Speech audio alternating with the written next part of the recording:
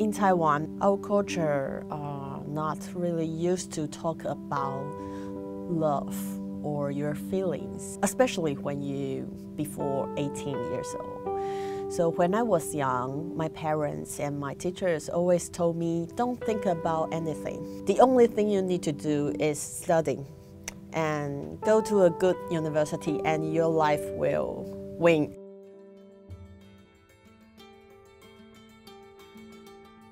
I have been working in Taiwan Tongzhi Hotline Association for like 12 years.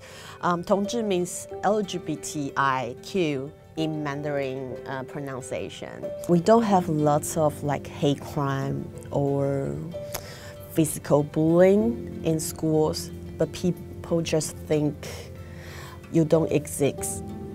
Especially when I was uh, young uh, when I was in senior high school or in, in the university. A lot of teenagers commit, uh, committed suicides at that time because they don't have anyone to talk, to discuss their worries and their feelings, their relationship, their love stories.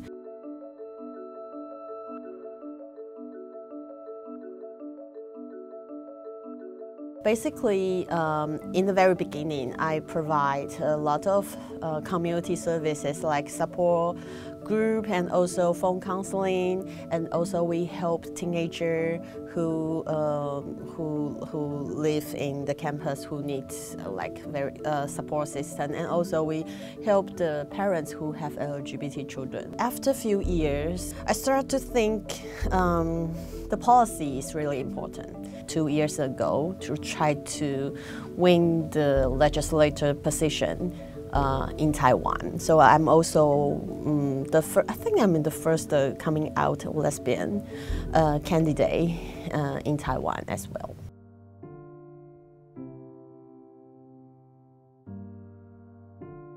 We, we want to build a more friendly society, so the best way is marriage equality. Um, however, we do have a very important policy in 2004. Every student uh, from elementary school to senior high school, they have to take at least four hours um, class uh, about gender education. And the gender education includes uh, LGBT education. At that time, you can think 2004 uh, elementary school student might, um, might be seven right now. He or she is 20. So in our 20th generation, the support, uh, the percentage of, of support marriage equality is really high, it's over 85%. So policy indeed impact people a lot. So we are facing a really serious battle about uh, one side is like love and acceptance. Another side is like hatred, fears, and also rumors uh, around Taiwan. So this um, this battle is still going on.